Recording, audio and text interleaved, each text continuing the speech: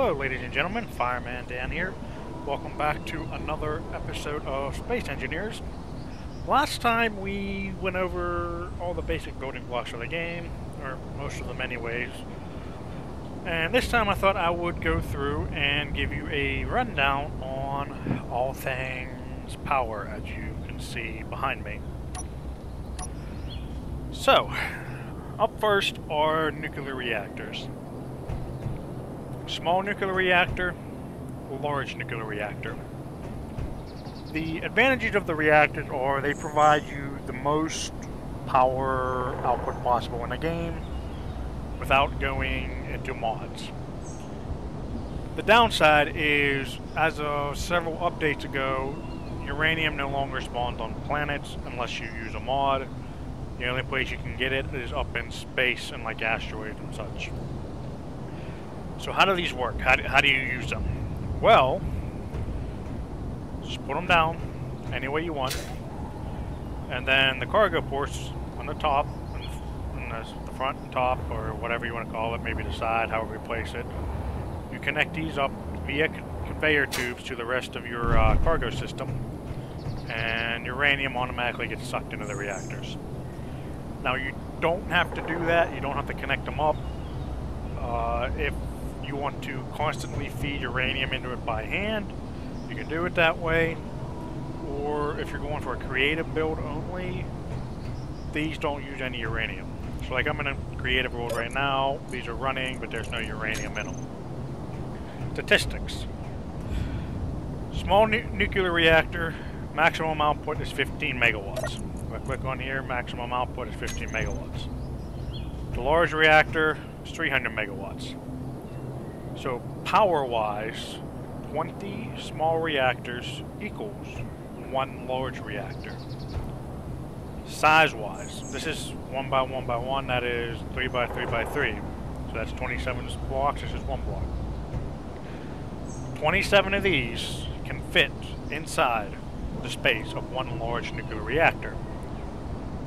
Well, if you look at this, you would think, well, it's more economic to use, space-wise, it's more economic to use small nuclear reactors, 27 small reactors over one large reactor. Well, that's technically true, if you're going for a creative build. If you try to block these up in a row, 3 by 3 by 3 you will never access all the cargo ports for every reactor, especially in the middle. So you cut down this number.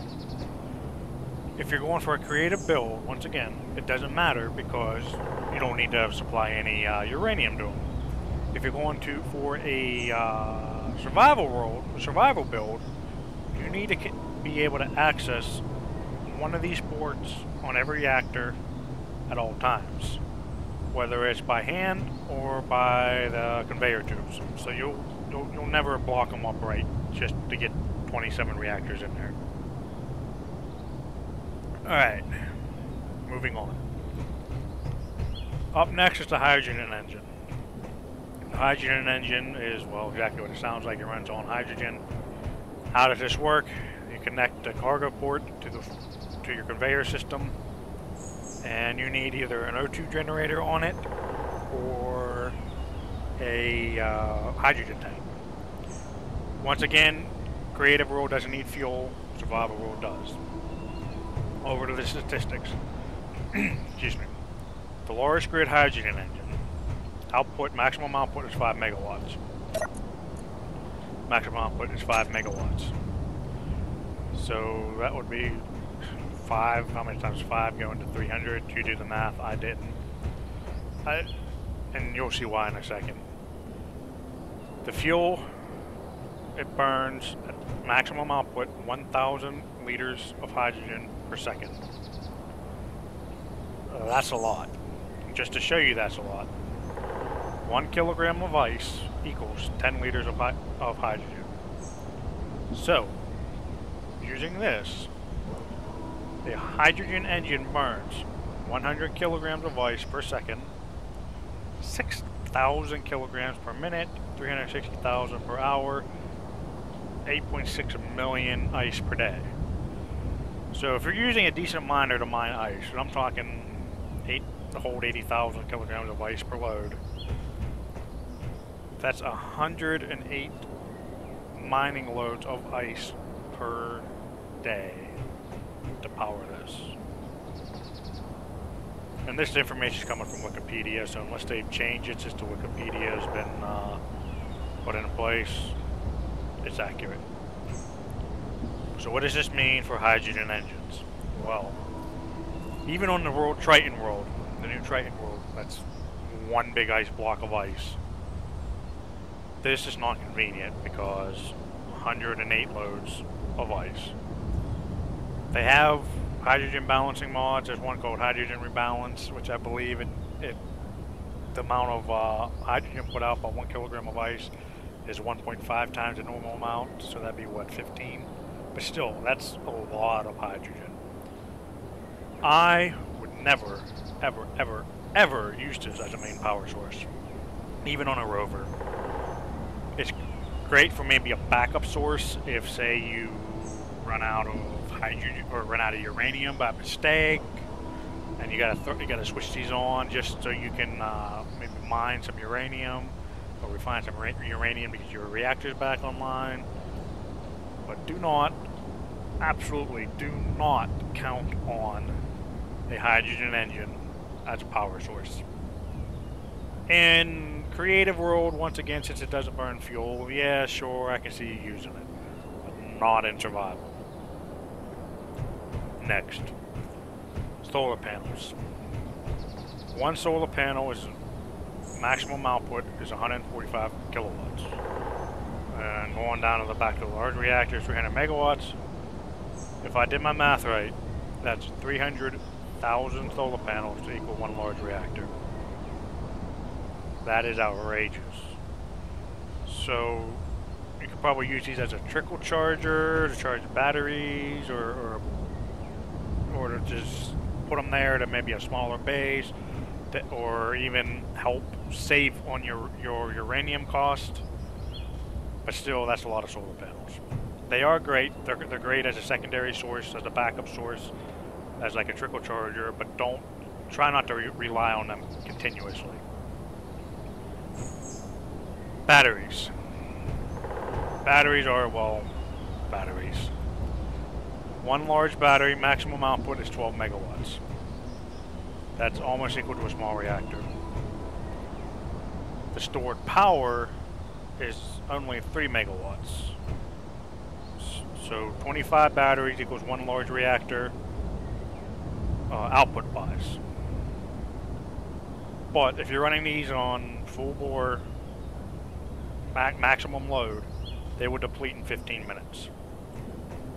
So once again, use them as a secondary source, uh, like a backup when you need them.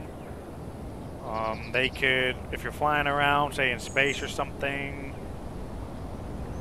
they can be there as your, like a, an extra oomph for your for your thrusters. So when you hit your thrusters, it may overload your reactor, but if you got a handful of batteries on, or 20, 30, 40 batteries, or ever many you put on your large your large ship, they can help give your your extra boost of power needed to supply your thrusters. They work great, they really do. I use batteries a lot. Next, your wind turbines. Count on your wind turbines being your main source of energy on planets until you get reactors online. Maximum output 425 kilowatts. So 70 turbines equals one large reactor. I know 70 is still a lot. But if you're using these as your main power source to get the reactor, your base is still not going to be that well built, or at least that big, or that power hungry. At least I hope. You should always work on getting your reactors online. Always. But use these primarily over solar. Small grid. So, small grid large reactor, 14.75 megawatts. Small reactor, output 500 kilowatts. So one large reactor equals 29.5 small reactors, power output and 27 small reactors fit inside one large reactor. Once again, creative, you got to access to ports, same as the, same as the large. So you will never fit 27 reactors in the, in the space of a, of a large reactor unless you're in creative only. If you're in survival world, you got to be able to access the cargo ports. And these ones are even worse because there's only, I actually covered it up, but there's only one, one place you can access it instead of two. So these are a lot worse for access. Batteries, one large battery, 4 megawatts, 1 megawatt stored power. One small battery is 200 kilowatts, and stored power is 50 kilowatts. Small grid has access to small batteries, and only the small grid. Large grid does not. Vanilla, anyways. 20 small batteries equals one large battery, and 18 small batteries fit in the space of one large battery. And that's power output wise. And 3.7 large batteries equals one large reactor. Battery wise, looking at this, small grid is much better on batteries than large grid is. And I'll show you that over there. The hydrogen engine, uh, same thing as before. Do not rely on hydrogen and survival because, well, 10 kilograms of ice per second, six, 600 uh, per minute. Did I type that right? 6,000 or 600? There's, there's one off of those. That's 6,000. Whoa, whoa, whoa, whoa. So this is 600 per minute, 36,000 per hour, 864,000 ice per day to run this full war. It's not nearly as bad as the large grid, but that's still pretty bad. Especially when you're talking 600 kilograms of ice per minute. Around the backside, lastly, you got small grid solar panels. Once, once uh, solar panel, 36 kilowatts max output. Uh, with the large reactor output, 410 equals solar panels equals one large reactor. Same deal with as over here. Uh, good for uh, trickle charger and secondary power source, but don't rely on them. Now over this, you would have seen this in the last uh, video I made. This has a single battery powering this ship and thrusters. Small ship stuff, batteries work great. Uh, a decent miner that I have, or that I can build, I can put maybe six or eight batteries on it and I can get, I don't know, 45 minutes of drill time out of it, up to an hour of drill time. And when you're talking mining, flying back and forth, depends on how far you go, really. If you're flying several kilometers, you may have to go out there, drill a bunch, come back and recharge. But when you're talking, you can get 80,000 to 100,000, 120,000 kilograms of ore in a single load. That's that's pretty decent. But batteries work great to power small ships compared to large grid where batteries are more on the side burner. Great, they work great. I use them regularly. Of course you can use reactors, but they're not required. And one of the things you can actually do with this, if you group your thrusters, alright, so let's come in here. Group your thrusters.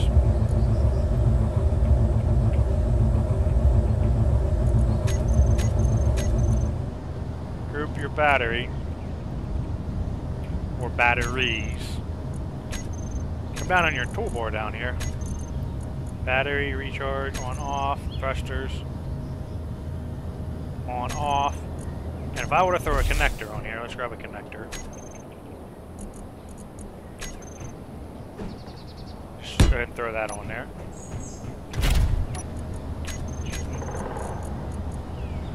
Throw that on there as well. So as I'm flying along, I can come to come to my base, right? Hover my connector over the over the, the port, and press three and switch lock and connect to my base. From there, I can turn, press two, turn off my thrusters, press one, turn my battery on the recharge, and now my battery can sit there and recharge while connected, connected to the base. So it's very easy to recharge your batteries, very, very convenient way of doing so. And you don't even have to do this. If you even throw a simple small reactor on there, right? On here, put throw some uranium in it, it can be sitting there charging your batteries for you while you go do something else. It, will take a lot longer than using your base to charge this, but it's doable. You can even throw a small reactor on here as uh, like an emergency reactor or a jump start kit, if you want to call it that. Leave it off, and if you're out and about somewhere and you notice your power is running low and like, oh crap, I'm about to run out of power, you can land, turn your batteries to recharge, and turn on the small reactor and recharge your batteries. You'll be stranded out there for a little bit until you get some juice in them, but, well, it's, it's an emergency situation. So depending on how big your ship is, same thing if you throw a solar panel onto it, it can sit there act as a trickle charger as well. That's why I said they're good for trickle chargers. Very great. I can sit here, turn this to recharge with the solar panel on here, and it'll, it'll slowly recharge my batteries. It'll take longer, once again, than using your base, but it, you can help save you uh, uranium and power resources. Alright, a little tip and trick with solar panels. I just wanted to show you this. Normally, well, let me rephrase that. I plan on doing other videos with different scripts alike, but this one involves power source, so I'm going to go ahead and throw this in here. This is called Isy's Solar Alignment. I pull this open, Isy's Solar Alignment script. What it does is this will make your solar panels or oxygen farms, because remember from the last video, oxygen farms are going to be pointed directly at the sun as well. This will track the sun just like, well, any other solar panel in, in the real world does. On this specific world, I do not have the sun tracking turned on. I just have it sitting in one place. So when I show you how to do this, it's not going to actually track the sun because, well, the sun's not moving. So let me show you how it's done. So up first, go back up here. Build your solar tower. You can build it as fancy as you want. Use your imagination. I was going for basic when I did this. Make your horizontal rotor, right? Technically, that is all you need, and it'll, it'll rotate, but it won't point up and down. If you want to make them a little more efficient, put your vertical rotors on. And you can do this as many times as you want. So I can I can come up here, right? Well, I'll probably have to go a little higher because of the solar panel. But I come up here and throw another rotor there and another rotor there, and now you got a double a double layer uh, solar tower. But once you get your tower your tower done, make a nice little cross or a T whichever you want to call it. On each horizontal beam, you need either a solar panel or an oxygen farm, either one. Back down to the bottom. Put Isy's into the uh, program block. So, edit, file script. Izzy solar alignment script.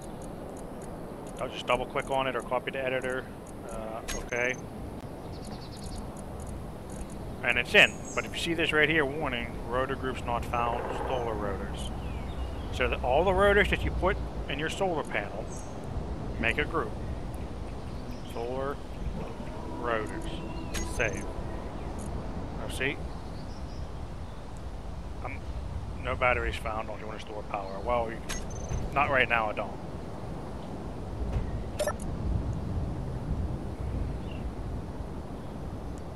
I keep saying it's calculating and whatnot. This, I don't think it's going to do anything because the sun rotation is turned off. Sun rotation is turned off. If it was not turned off, this would actually be turning towards the sun and lining up to the sun and tracking the sun. Oh wait, there it goes. What do you know? How about that?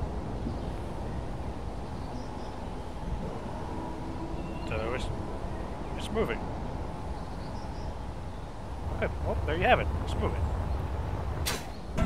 That's technically all you have to do. If you want an information display, put an LCD down, and in the name, you want explanation point ISY for Izzy dash lowercase main.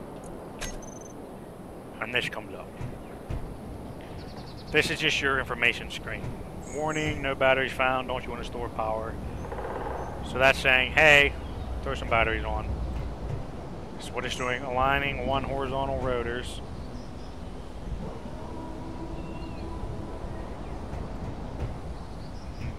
Not actually moving, so solar rotors, rotor, rotor, rotor. For whatever reason, the horizontal rotor isn't. Is it? Or is just going really slow? I think it's just going really slow. Now, statistics. Statistics for two solar panels, efficiency 99.8%. It'll show you your power input. It also shows you your power output for the solar panels. Oxygen farms, uh, I think that's the efficiency as well, 67% efficiency. And it will also show you your time of day where you're at. And I see inaccurate, still calculating. And it shows you your dawn, your dusk, your day, day length time, night length time. There are several things else this script can do. I never use them, but it can Let me pull up the your light. It can turn your lights in your base on and off automatically. You can use gyros as well. Uh, power fallback with this option, you can enable your reactors or hydrogen engine as a safety fallback if not enough power is available to power all your machines or battery charge gets low. By default, all reactors and hydrogen engines on the same grid will be used. If you only want to use specific ones, put their names or, or group in the list. By default, fallback devices are activated on low battery, less than 10% left, and on overload, more than 90% of the max output used. The overload activation will kick in. If the overload power usage of all batteries, solar panels, and wind turbines exceed the set value, default 90% by max output. You can enable or disable features by setting their values to true or false. You can also change the thresholds of your needs. This is all in the, uh, the guide, which if you go into the main page, you can just click on it right there. So you can automatically save your power sources, your, your uranium, your backup hydrogen, automatically recharge your batteries, all through the script. If you got interior lights in your base, they will automatically turn your, your base lights on and off if you enable it. Keep in mind, if you don't have no windows on your base or whatever, that room will be dark if your lights turn off. But it's there. This is one of my uh, go-to scripts whenever I'm building solar panels. So that's about it. As a recap, reactors first. Hydrogen as an emergency backup only. Batteries work great. Solar panels are trickle chargers. Uh, wind turbines are great for starting out on the planets. Batteries work great on small grids. The small batteries, oh, but yeah, by the way, the smaller batteries do not hold that much power. But the option is there to use them to save space. And make sure you line your solar panels up with the sun. AZ Solar Alignment Script works excellent for that.